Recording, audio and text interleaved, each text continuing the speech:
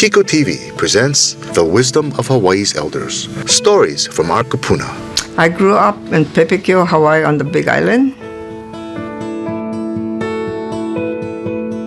I climbed trees and then I I love to swim. So I used to swim in the river and you know you would go and catch like opae or whatever, yeah. And the crayfish and all those things. I didn't like to stay indoors. So we would um, play out in the rain. When they have the rain we would make mud pies and then we would play uh, marble. My parents they were regular. My father worked for the Pepeekeo plantation and my mother was a housewife. On the big island i went to Pepeekeo elementary uh, middle school all the way from first grade to ninth grade. We all stayed together all the way. And then from ninth grade, when you graduate ninth grade, then I went to Hilo High School for uh, sophomore year and half of junior year until uh, our family moved to Honolulu. And then I went to McKinley High School, where I graduated from in 1949.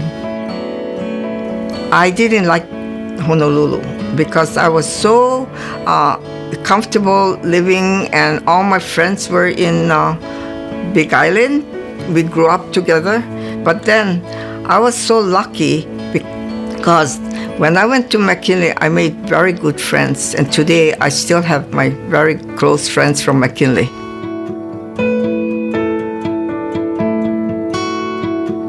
Graduated in 1953. My husband graduated from University of Hawaii in 1953, and then he had to go to Fort Benning, Georgia for training, and then he chose Fifth Army, which is Fort Ord, California, that he was assigned to.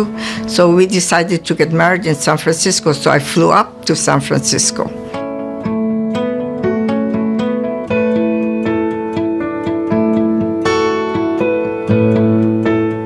I started to take um, all these koto lesson, paranku, hula, and uh, um, what you call uh, ukulele, harmonica.